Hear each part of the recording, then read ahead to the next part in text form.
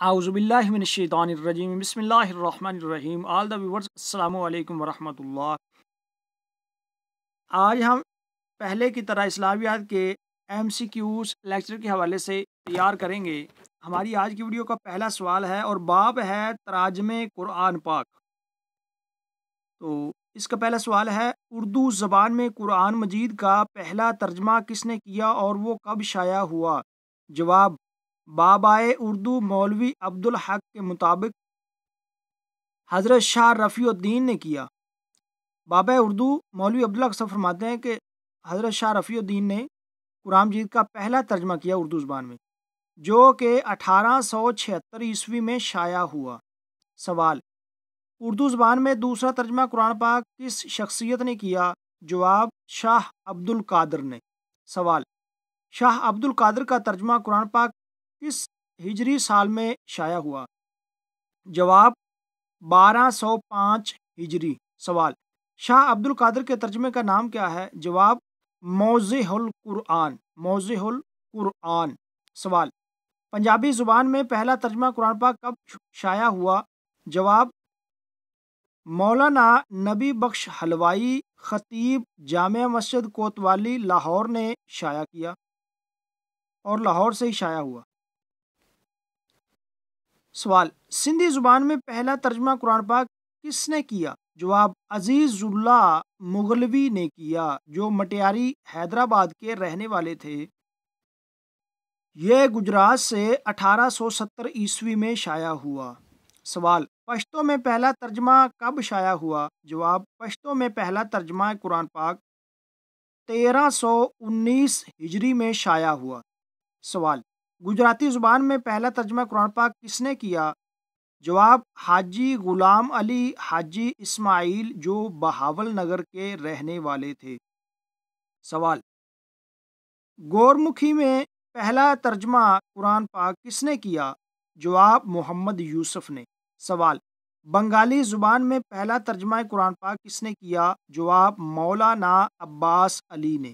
سوال قرآن مجید کا پہلا با محاورہ ترجمہ قرآن پاک کس نے کیا؟ جواب مولانا عبدالحق حقانی رحمۃ اللہ علیہ نے۔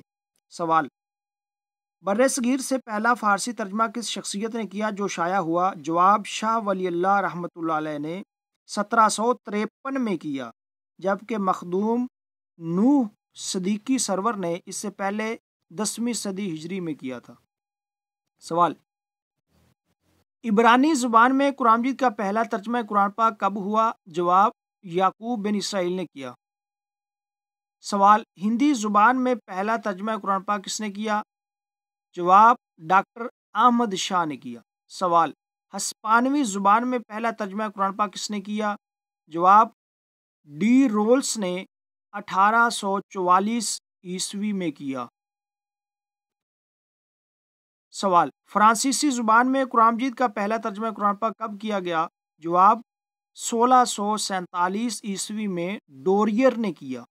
سوال، قرآن پاک کا پہلا نامکمل بنگالی زبان میں ترجمہ کب شائع ہوا؟ جواب، اٹھارہ سو اڑسٹھ عیسوی میں۔ اڑسٹھ کہتے ہیں، پنجابی میں کہتے ہیں نا اٹھارہ سو اٹھاٹھ۔ اگلا سوال، پہلا نامکمل بنگالی ترجمہ کس پارے کا، کس نے کیا؟ جواب غلام اکبر علی نے تیسویں پارے کا کیا؟ سوال دوسرا نامکمل ترجمہ کس شخص نے کیا؟ جواب امیر الدین بشوپنا نے بھی تیسرے، تیسویں پارے کا ترجمہ کیا۔ امیر الدین بشوپنا نے اس نے بھی تیسویں پارے کا ترجمہ کیا۔ سوال بنگالی زبان میں پہلا مکمل ترجمہ کس نے کیا؟ جواب برہمن دھرم کو ماننے والے گریش چندر چندرا سین نے کیا۔ برہمن دھرم کو ماننے والے گیریش چندرا سین نے کیا۔ سوال کس مسلمان شخص کو بنگالی میں پہلا مکمل قرآن ترجمہ کرنے کا اعزاز حاصل ہے؟ جواب مولانا عباس علی کا ترجمہ کلکتہ سے شائع ہوا۔ جو سوال جرمن زبان کا دوسرا ترجمہ کس نے کیا؟ جواب سی بوائسن نے۔ سوال دوسرا جرمن ترجمہ قرآن پاک کب شائع ہوا؟ جواب سترہ سو تہتر عیسوی میں۔ سوال جرمن زبان کے دوسرے ترجمہ قرآن پاک پر نظر ثانی کس نے کی؟